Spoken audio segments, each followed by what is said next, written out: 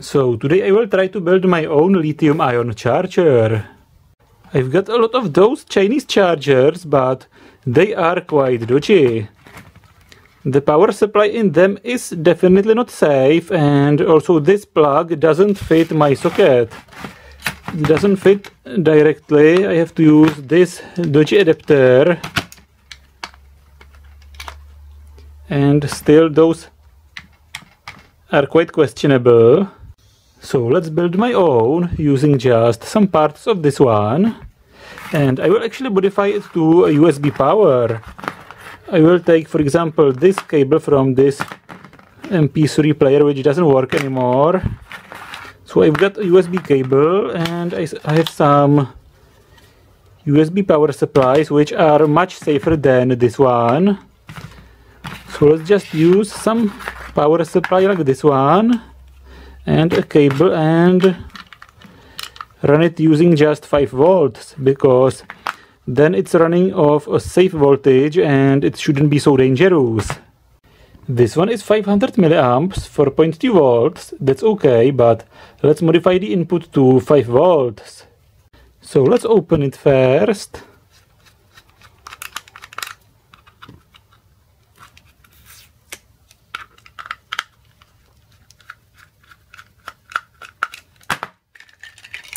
And there is the dodgy plug. And the board in it. This one is quite dangerous. This one is the mains in. And it is very close to this one which is the battery contact here. So the mains goes here through the plug. And this connection right next to it is this battery contact. So the battery contact is just half a millimeter from the mains in. That's horrible. So this is the mains part and this is the secondary part. And they were trying to make some gap in between, but here it's completely defeated.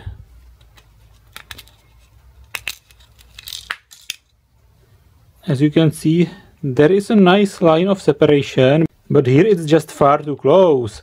And the other mains contact is right in the middle of all those secondary connections. That's also quite dodgy. And we also have no idea what is inside of this transformer. So let's rebuild it to 5 volts.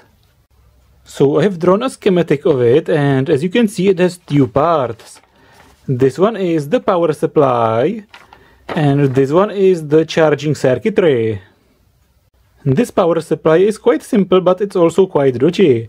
It has no fuse, no inrush resistor, no interference filter, no snubber network here and it also has very poor separation on the board and a questionable transformer. So let's remove the power supply and keep just this circuitry for charging. There is a clever charging chip with indication LEDs and some capacitors and this is the output and it's automatic polarity system so it will automatically detect the polarity of the battery and choose the right polarity. So we will connect a USB power supply here and that's it.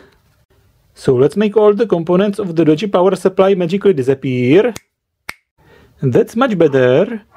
And this soldering iron can do miracles. Now let's try to connect 5 volts to this capacitor to its terminals. It's this one in the schematic. So let's use a USB cable. We just need this end.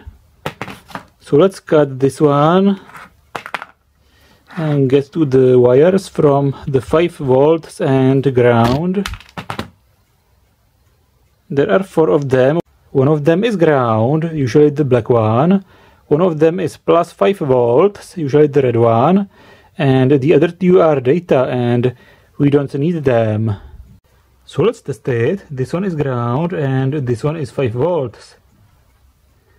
So let's remove those two one shorter, one longer, so they don't touch.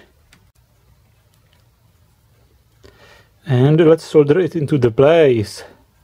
I will solder it to this capacitor and the negative has this marking. So this side is the negative.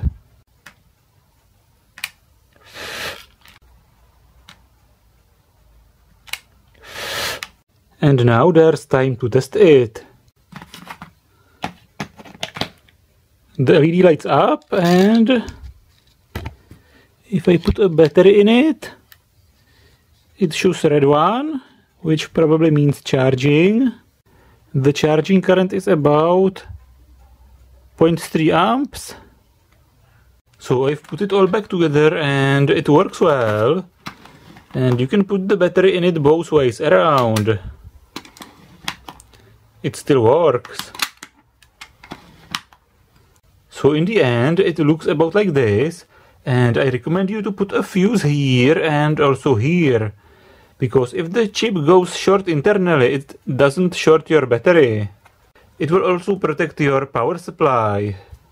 The fuses also reduce the risk of fire because lithium ion batteries can catch fire or explode at any time. This Chinese charger has one peculiarity. There are two charging slots but just one chip.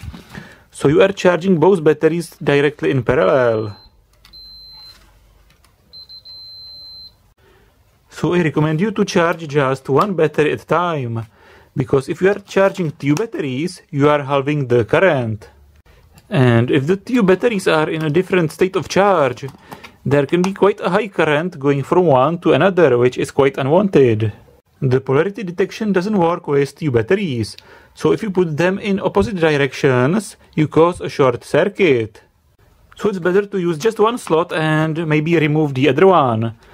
Or use a single slot charger instead. Always be careful with lithium ion batteries because they can be dangerous. And use just a safe power supply.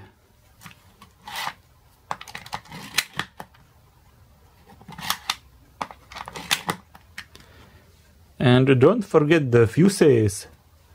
This is DiodeGoneWild and see you in my next videos.